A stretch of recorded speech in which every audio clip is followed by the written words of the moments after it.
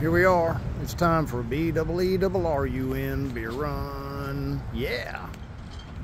All right. Get a holder and see what we got.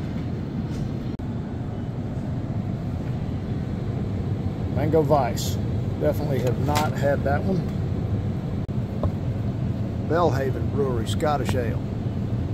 Definitely have not had that one. Stone Tangerine Express.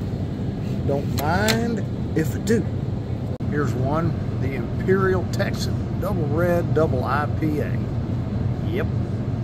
And we'll finish it up with the Cave City Old Black Bear. It's a dunkel. You know, and now it's just time for some good old-fashioned drinking beer. Brewed local, and I love an Oktoberfest.